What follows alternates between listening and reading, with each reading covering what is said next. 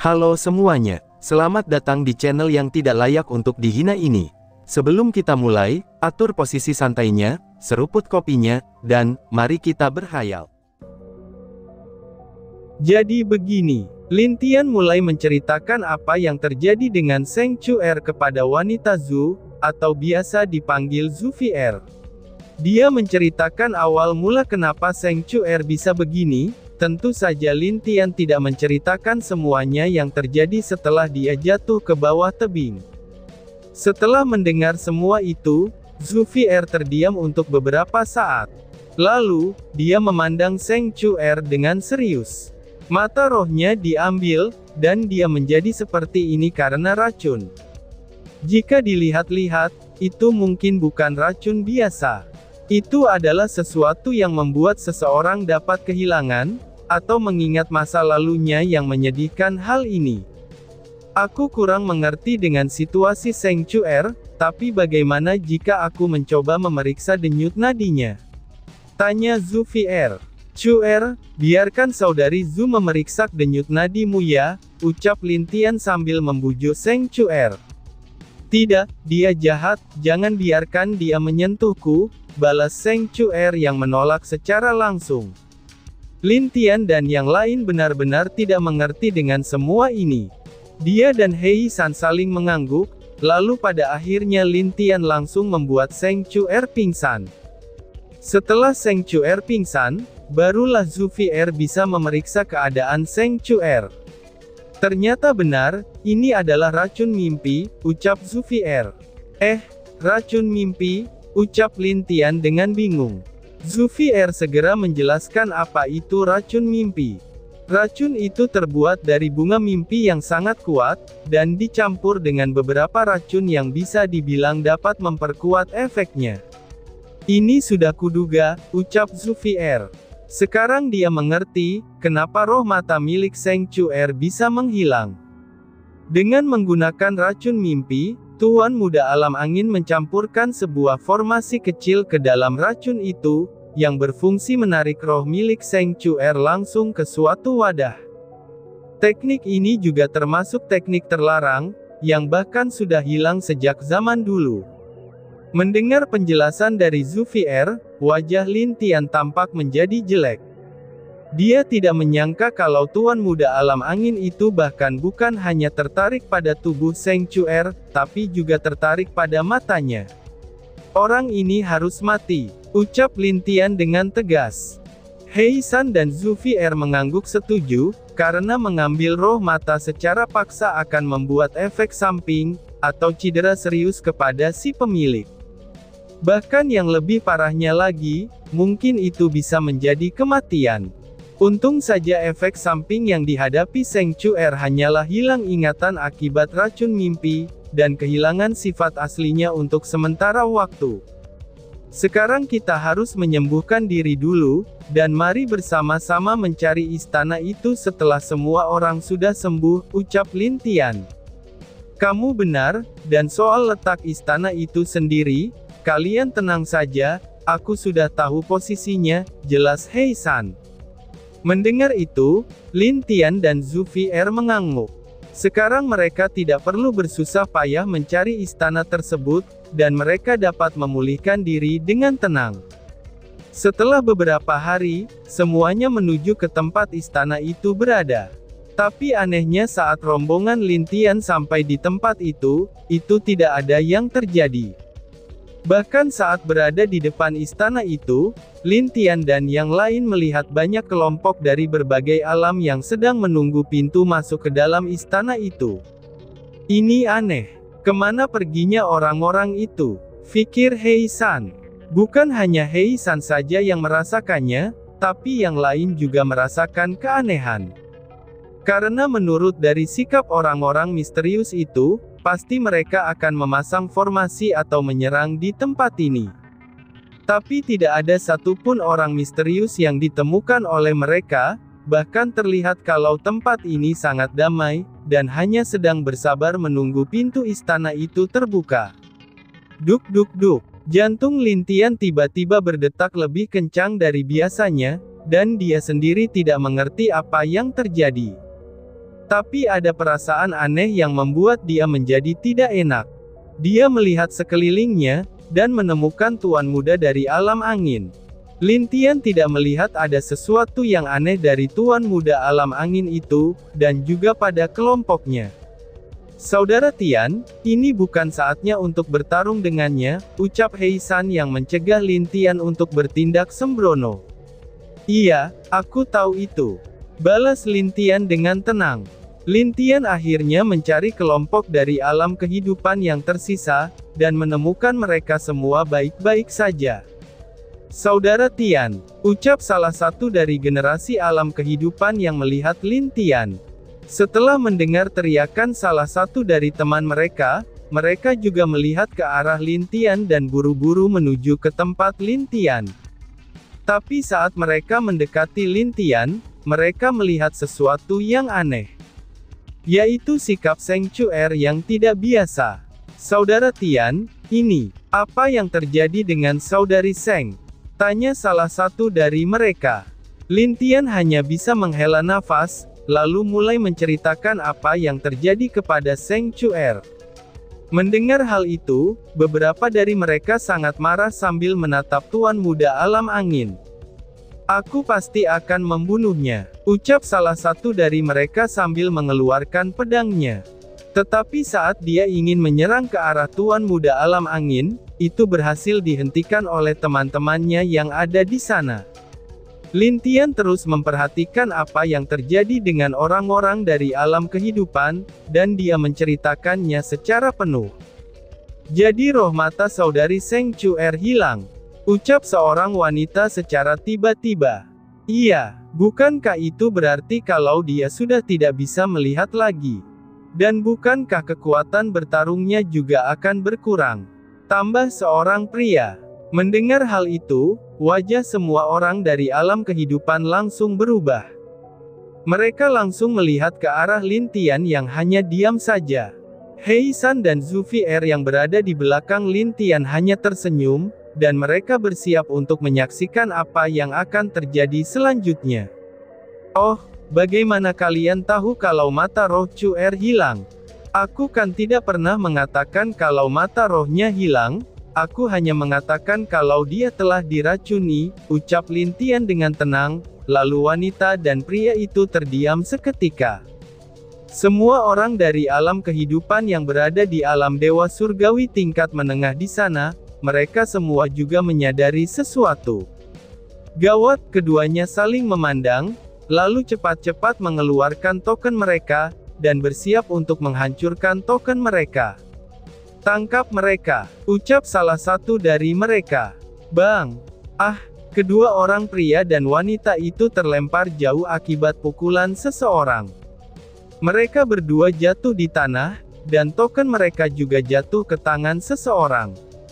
Tentu saja orang itu adalah Lintian, yang saat ini wajahnya terlihat sangat marah. Bahkan hal itu membuat semua orang yang ada di sana melihat ke arah Lin Tian dengan kaget, lalu mereka bersiap untuk melihat pertunjukan yang bagus. Kalian berasal dari alam yang sama, tapi benar-benar berani mengkhianati saudara kalian sendiri, ucap Lin Tian. Saudara Tian, sepertinya kita harus menangkap mereka dulu, dan biarkan Dewa Seng Qiu dan Dewi Kehidupan yang memberi mereka hukuman, ucap Heison yang mencoba menenangkan Lin Tian. Lin Tian menatap dua orang itu dengan marah, lalu dia melihat ke arah generasi dari alam kehidupan. Semuanya mengangguk setuju dengan apa yang direncanakan Heison, karena dua orang ini lebih baik menjelaskan kepada Dewi Kehidupan, serta tetua agung tentang masalah pengkhianatan mereka ini. Kalau begitu, aku hanya perlu membawa mereka tetap hidup tanya Lintian. Semuanya pun mengangguk, lalu setelah yakin, Lintian lalu melepaskan diri dari Seng Chuer, dan muncul di depan kedua orang itu dengan seketika. Bang! Ah! Keduanya menjerit kesakitan karena tangan mereka dipotong oleh Lintian. Itu bukanlah ditebasan biasa saja, karena Lintian menggunakan energi kematiannya sendiri. Dengan begitu, kedua tangan dari kedua orang itu tidak akan dapat tersambung kembali, meskipun mereka adalah dewa surgawi tingkat tinggi sekalipun. Melihat hal itu, semua orang dari alam kehidupan tidak peduli lagi. Karena bagi mereka, kedua orang ini berani berkhianat kepada saudaranya sendiri, maka mereka tidak pantas untuk dikasihani. Lintian langsung terlihat berbeda dari sebelumnya, karena ada aura aneh yang menutupinya. Dan dia yang tadi hanya akan memotong tangan dua orang itu, kini dia berubah dan sangat ingin membunuh mereka. Saudara Tian, panggil Heison yang melihat perbedaan Lin Tian itu. Namun sayangnya, Lin Tian tidak mendengarkan suara dari Heison. Dia langsung mengangkat tangannya, dan akan memukul keduanya sampai mati. Tapi suara Seng Chuer membuat Lin Tian tersadar dengan apa yang dia lakukan itu, dan Lin Tian pun langsung berhenti di tempatnya. Ini terulang lagi. Apa yang terjadi? Fikir Lin Tian dengan melihat kedua tangannya. Lalu Lin Tian menatap Seng Chuer yang berteriak memanggil dia, dan kemudian Lin Tian menghela nafas. Lalu dengan santainya, dia memasukkan kedua orang itu ke dalam ruangan yang berbeda. Lintian kembali ke dekat Seng Chuer, dan membiarkan wanita cantik itu memeluk tangannya lagi. Wush! Aku menemukanmu, ucap suara wanita yang tiba-tiba terdengar dari belakang Lintian. Lintian kaget setelah mendengar suara itu, lalu dia menoleh ke belakang dan melihat wanita cantik dengan rambut panjang berwarna putih, sambil menatapnya dengan mata penuh kasih sayang. Lintian tersenyum melihat wanita itu, dan tentu saja wanita itu adalah Lan Jingyi, orang yang telah mencarinya sejak lama di alam rahasia itu. Tapi wajah tersenyum Lan Jingyi berubah, saat dia melihat Seng Chuer yang sedang memeluk tangan Lintian. Dia juga melihat dua buah melon milik Seng Chuer menempel ke tangan Lintian. Ehem, Lintian yang sadar akan tatapan Lan Jingyi berdehem pelan, itu dia lakukan hanya untuk menyadarkannya. Lan Jingyi tidak banyak berbicara lagi, dan dia segera membawa kelompok alam kehancuran, serta dua alam lain yang bersama dengannya untuk mendekati Lintian. Apakah kamu tidak merasa aneh? Ucap Lan Jingyi yang tiba-tiba berbisik ke telinga Lintian setelah mendekatinya. Lintian terdiam untuk sementara waktu, karena apa yang dikatakan Lan Jingyi tentu saja dia sangat mengerti. Tetapi bagaimanapun juga, dia juga tidak tahu di mana yang aneh sekarang. Apakah kamu menemukan sesuatu selama perjalanan ke sini? Tanya Lintian kepada Lan Jingyi. Tidak, selain alam es, elemen, dan alam kita, aku tidak menemukan keanehan. Dan untuk alam pedang, mereka sudah keluar sejak di alam keenam, jawab Lan Jingyi.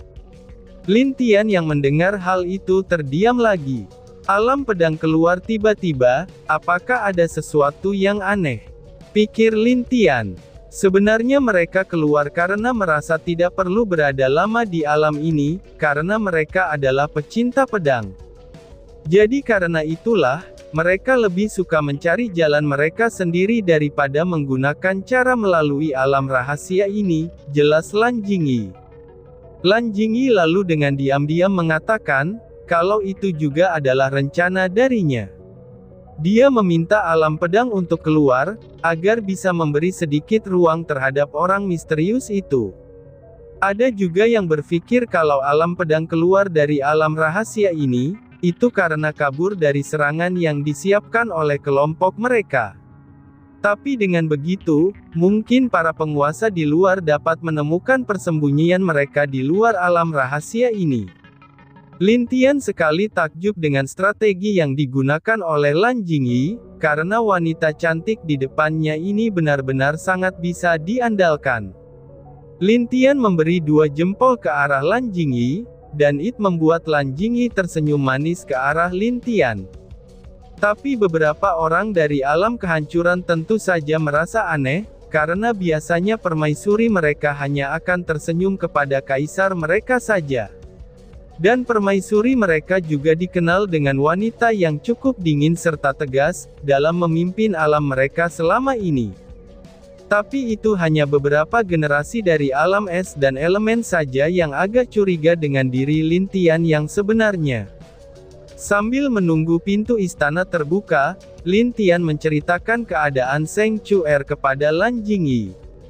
Tentu saja setelah mendengar hal itu, dia sebagai wanita juga merasa kasihan dengan apa yang dilalui oleh Seng Chuer. Sebenarnya ada yang aneh dengan Tuan Muda Alam Angin beserta orang-orangnya itu, ucap Lan Jingyi secara tiba-tiba kepada Lin Tian.